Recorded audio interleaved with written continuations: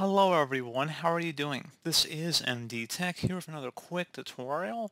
In today's tutorial, I'm going to show you guys how to resolve the error code message 0x800701E3. The request failed due to a fatal hardware error. You can use this error code to search for help with this problem, and hopefully this should be a pretty straightforward process here, guys. And without further ado, let's go ahead and jump right into it. So first thing I recommend doing is making sure that the file is not already open in another window perhaps. Make sure you close out of any open programs and applications and then attempt the action again. It's possible that it was already deleted or moved, the file in question of course, so just might want to consider that as well as skipping over the file if you're running a batch command and maybe you're deleting a whole bunch of items, removing a whole bunch of items. Don't just let that one file or one folder hold everything else up.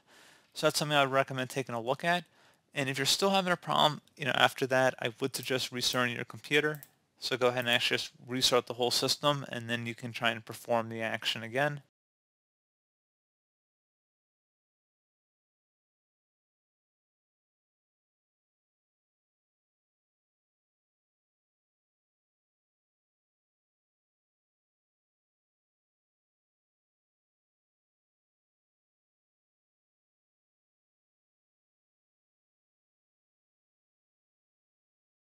And like I said, try and perform the action again, and then hopefully your problem has been resolved at this point. So, as always, thank you guys for watching this brief tutorial. I do hope I was able to help you out, and I do look forward to catching you all in the next tutorial. Goodbye.